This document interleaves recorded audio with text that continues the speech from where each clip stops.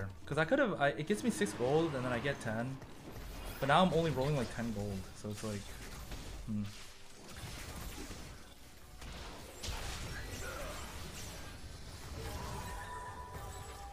Maybe the game will be, uh, wait.